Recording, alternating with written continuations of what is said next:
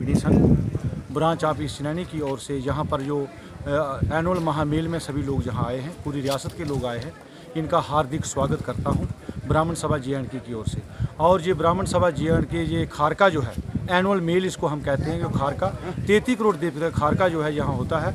माता मल, चोंड माता, बाबा कालीवीर, बाबा प्रदुहार ये मानसर वाले बाबा, उसके बाद वैष्णो माता, सुकराला माता खीर भवानी सुदमा देव वाले, मानतलाई वाले, कश्मीर वाले, जम्मू वाले, लद्दाख वाले पुंछ रजौरी वाले, सारे जितने भी हमारे ये बाबे वाली माता हैं, सभी का कट्ठा खारका, सभी जातियों का खारका साल में एक बार होता है। और ये हमारे स्पेशलिस्ट जो इसके जो खारका करवाते हैं, ये जातर इसकी बाकायदा है कि जातर आती है।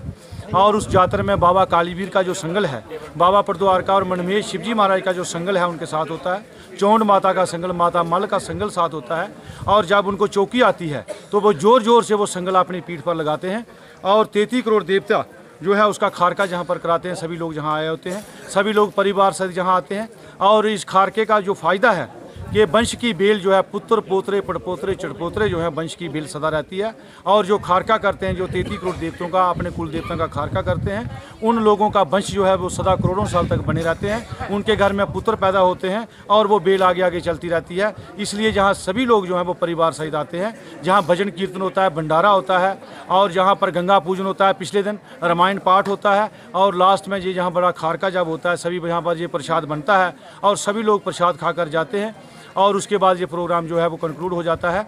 और कुछ यहाँ पर जो हमारे गाँव के आसपास के दूर दराज के बच्चे जो स्कूलों में टॉप करते हैं, जो ऑफिसर हमारे अच्छे हैं अच्छा काम कर रहे हैं, ईमानदारी से काम कर रहे हैं, उनको सम्मानित किया जाता है। बच्चों को प्राइज़ दिए जाते हैं कैश प्राइज़ भी दिया जाता है।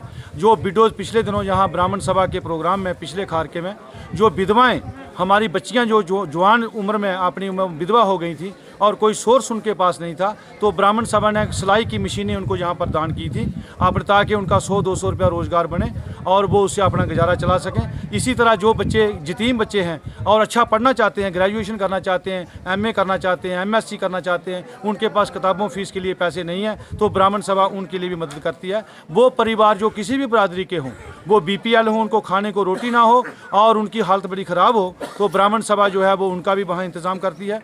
दूसरा वो परिवार, वो बीपीएल गरीब परिवार जिनकी एक एक परिवार हमारे पास आया और उसने कहा छः बच्चियाँ मेरी हैं और ढाई कनाल ज़मीन है। तो ब्राह्मण सभा ने कहा, तेरी छः बच्चियों की शादी ब्राह्मण सभा जहाँ से कराएगी 108 पंडित वो शादी पढ़ाएँगे और बच्ची ससुराल घर चली जाएगी। उस परिवार को बच्चियों का कोई बोझ नहीं रहेगा। ऐसा भी ब्राह्मण सभा जी, इसका कॉन्स्टिट्यूशन जो बना है कि सभी धर्मों के लिए, सभी धर्म हमारे जो हैं वो उनके लिए बराबर समान है।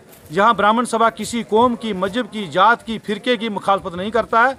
जो ब्राह्मण सभा का आदमी किसी दूसरी जात की, धर्म की, किसी फ़िरके की मुखालफत करता है, वो इस ब्राह्मण सभा का मेंबर नहीं हो सकता है। जहाँ सभी लोग सादर मंत्र हैं, हम हाथ जोड़कर सभी लोगों का स्वागत यहाँ करते हैं और सभी लोग जहाँ खाना खाते हैं, प्रसाद लेते हैं तो मैं इन्हीं अल्फाज के साथ आज के इस मुबारक मौके पर, आज ये 2017 की जो एनअल मेल है जहाँ पर पूरी रियासत के जितने भी लोग यहाँ माताएँ बहनें बुज़ुर्ग बच्चे नौजवान साथी आए हैं मैं ब्राह्मण सभा जे एंड की ओर से उनका हार्दिक स्वागत करता हूँ कि आगे भी इसी तरह आशीर्वाद उनका बना रहे और सभी लोग जहाँ आए और आनंद लें और अपने अपने कुल देवता को याद करें। जय हिंद जय भारत। जय हो।